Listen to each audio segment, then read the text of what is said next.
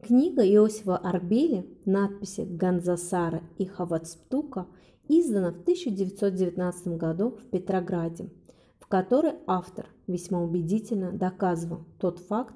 что албанские памятники на территории азербайджанского Нагорного Карабаха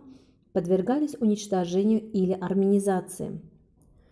Тема, вынесенная в названии этой брошюры, чрезвычайно важна для восполнения пробелов в истории Южного Кавказа, образовавшихся в результате фальсификации армянских историков, этнографов, церковников и прочих – деятельность которых всеми правдами и неправдами направлена на армянизацию албанских церквей.